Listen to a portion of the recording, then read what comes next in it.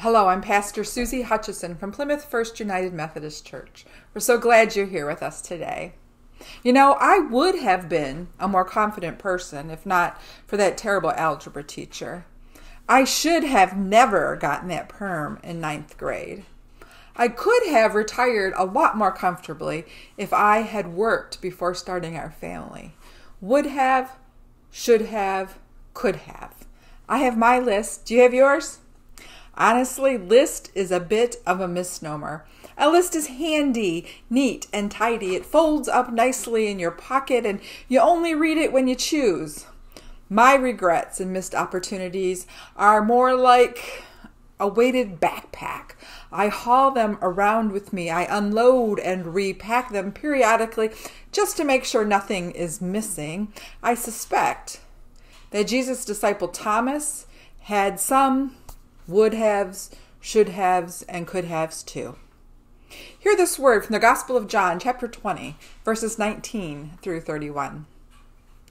It was still the first day of the week. That evening, while the disciples were behind closed doors because they were afraid of the Jewish authorities, Jesus came and stood among them. He said, Peace be with you. After he said this, he showed them his hands and his side. When the disciples saw the Lord, they were filled with joy. And Jesus said to them, Again, peace be with you. As the Father sent me, so I am sending you. Then he breathed on them and said, Receive the Holy Spirit. If you forgive anyone's sins, they are forgiven. If you don't forgive them, they aren't forgiven. Thomas, the one called Didymus, one of the twelve, wasn't with the disciples when Jesus came. The other disciples told him, We've seen the Lord. But he replied, Unless I see the nail marks in his hands, put my fingers in the wounds left by the nails, and put my hand into his side, I won't believe. After eight days, his disciples were again in a house, and Thomas was with them. Even though the doors were locked, Jesus entered and stood among them. He said, Peace be with you. Then he said to Thomas, Put your finger here. Look at my hands. Put your hand into my side. No more disbelief. Believe. Thomas responded to Jesus, My Lord and my God. Jesus replied, Do you believe because you see me? Happy are those who don't see and yet believe. Then Jesus did many other miraculous signs in his disciples' presence, signs that aren't recorded in the scroll, but these things are written so that you will believe that Jesus is the Christ, God's Son, and that believing you will have life in his name. Word of God for the people of God. Thanks be to God. Now, I suspect that for some time, Thomas's list read something like this I should have stayed in that room. I could have seen Jesus. I would have certainly recognized him. The story we read today starts on that first night after the resurrection.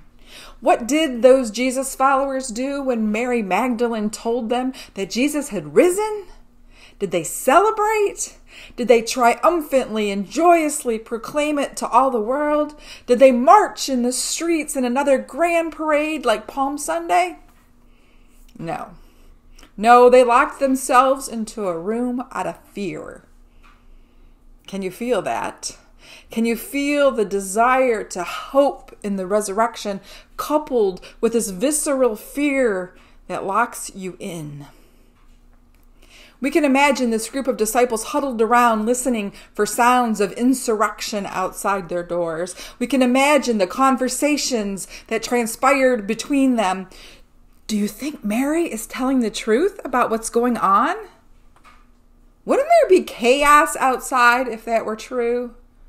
I should have gone to the tomb myself, seen it for myself. What would it mean if she is right? Now imagine them fearfully holed up, drawing up worst case scenarios in their minds, and suddenly Jesus is there. Peace be with you. Peace be with you, he says, into the midst of all that fear. Then he reveals to them the marks that fear and anger and sin have left on his body. He shows them his pierced hands and his wounded side. And the story says that they were filled with joy. Again, Jesus says, Peace be with you. This time spoken into their joy peace in fear and peace in joy. Peace be with you. But Thomas, the one they called the twin, wasn't with the other disciples. You may, may have noticed that this story doesn't tell us where Thomas was. It doesn't tell us if he was out looking for Jesus' missing body. It doesn't tell us if he was an essential worker providing food for those gathered in that locked room. It doesn't tell us if he was tending to the widows and the orphans of the community. It doesn't tell us how long Thomas was gone. A few minutes to go to the bathroom, or a few days to cruise the Sea of Galilee. It just says that he wasn't there when Jesus arrived. He didn't see the wounds that the other disciples saw. He didn't hear the words that the others heard. Peace be with you. So when Thomas returns from wherever he was, doing whatever he did, the other disciples tell him, We have seen the Lord. This next moment defined Thomas for all the rest of history. Thomas says, Unless I see the nail marks in his hand, and put my finger where the nails were, and put my hand into his side, I will not believe. And so, with that one response, Thomas becomes doubting Thomas. And surely his what if list began. What if he hadn't left? What if he had stayed instead of going out to work or to pick up dinner or to check on his mom? He must have thought I would have seen it myself. I could have been breathed upon by the resurrected Lord. I should have stayed. Quarantined, sheltered in place, locked down, whatever you call it. It sure, certainly gives us lots of time to think. It gives us lots of time to wonder. Would I be more tolerant of the situation if I had someone on the front line of medical care? Could I survive it if I get it? Should we stay locked in or can we restart commerce? In the midst of all Thomas's questions, God showed up for Thomas.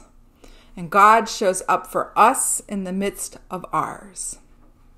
Against all odds, against all reason, even when all hope seems gone, God shows up proclaiming, Peace be with you.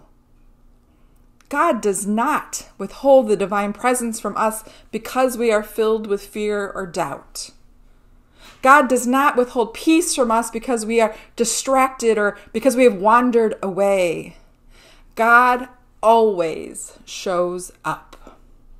Now, when I was in youth ministry, it was very common for high school seniors to come to me in full angst. They would be distressed, trying to discern what God wanted them to do with their lives after high school. Should I go to Northern Michigan University or Tech or MSU? Should I devote myself to my music?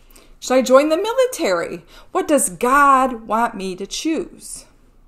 And we would pray together for wisdom.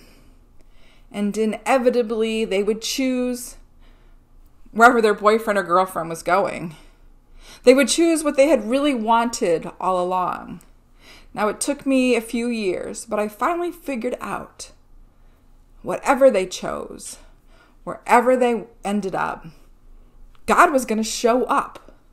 God would be in Marquette or Houghton or East Lansing. Maybe God would even show up in Ann Arbor. Because God shows up. God shows up in dive bars and practice rooms as surely as God shows up in church choir rooms. God breathes on us as surely in boot camps and and dormitories as they do as he does in sanctuaries. God shows up in hospital rooms, quarantined houses, and funeral homes. God shows up wherever we go, whatever the state of our minds. Maybe you're thinking, oh, Pastor Suzy, my pain's bigger than that. My anxiety is raging out of control. Loneliness overwhelms me. Anger fills my head over these restrictions. I have done things I would not utter in church. I'm sorry for your pain. I'm sorry for your shame. I am sorry for your doubt. Peace be with you. God is with the person that you hurt, and God is with you. God is with the one whose life is tied to the hum of the ventilator. God is with the one raging with fever. God is with the one whose body is worn down by the virus.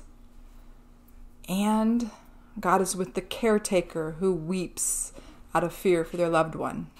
God is with the essential worker who doesn't want to expose his family but knows they need his paycheck.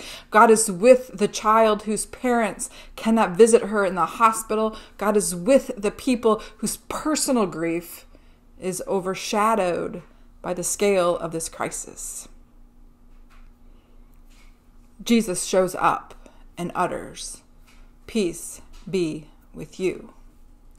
When Jesus appears to Thomas in that locked upper room, he does not deny the pain of his crucifixion.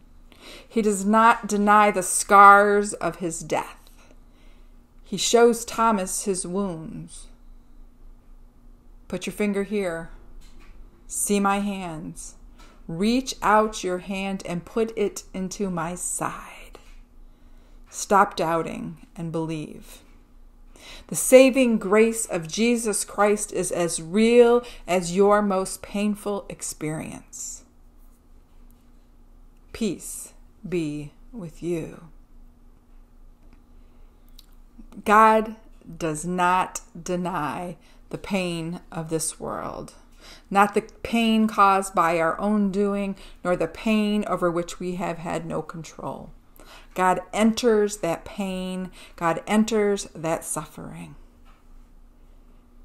Friends, the pandemic is not too large for God's redemption. The world is not too sick for God's healing. The world is not too broken for God's repairing. We are not too wounded for God's mercy. We are not too terrible for God's forgiveness. The saving grace of Jesus Christ always triumphs. As we sit in this weird time and space, let's set aside what we believe that life would have, should have, or could have been. Instead, let us rejoice in the resurrected Jesus that is with us exactly where we are, who we are, as we are, and how we are.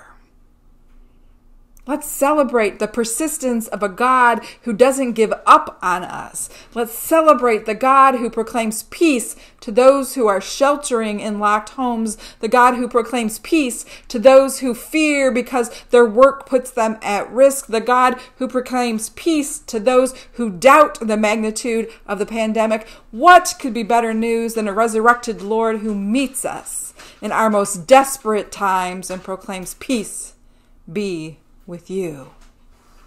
Fear filled people, rejoice.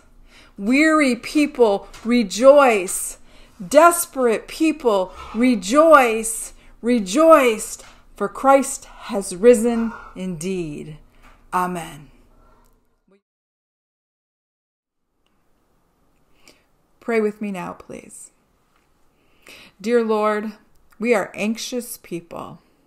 We worry about work and we worry about money. We worry about food and we worry about health.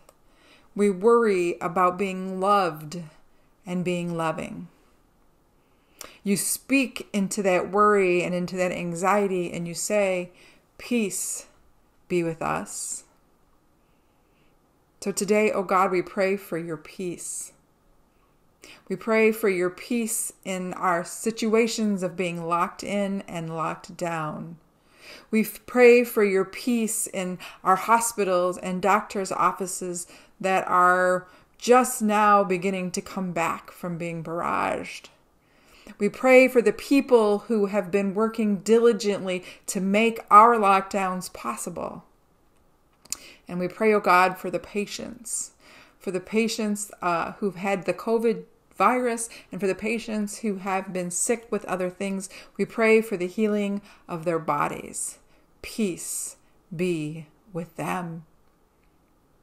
Oh God, we pray for your strength and for the grace of your Holy Spirit to grant us strength that within our inner being we may put away all this useless anxiety and distress. Let us be drawn closer to you rather than closer to these anxieties. We pray, O oh God, for your graciousness and for your mercy. We give thanks. Amen.